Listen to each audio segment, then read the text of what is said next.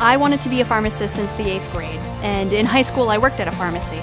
I went to the University of New England because their reputation is fantastic.